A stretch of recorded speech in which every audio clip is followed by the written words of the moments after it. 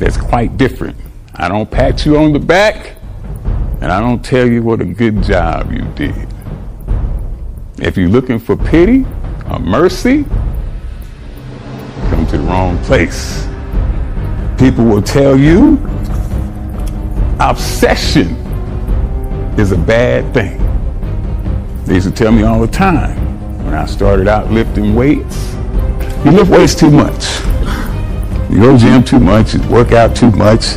You're obsessed with it. It's not a good thing to be obsessed with anything. Let me tell you this. Obsession is a necessity. You are obsessed about it.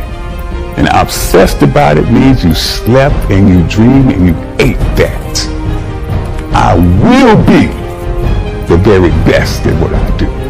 I am determined to be the very best at what I am.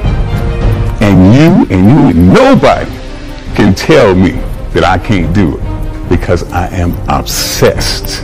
Magnificent obsession. Once you question impossible, the two keys, then when somebody like that tells you you can't do something, when he said, I look like I never look, but I never, you never, my doctor told me never look another way in your life. Oh boy. Oh boy. Not me, not I. you have chosen the wrong one to tell something like that to. I will show you. I will show you what I can do. I will show you. I will turn your I can't. I will never. I won't. It's impossible. I will turn it around and I will show you I can do anything. Anything. That is my message to you. Let the I can fuel your fire. Now my message to you is if I can do it,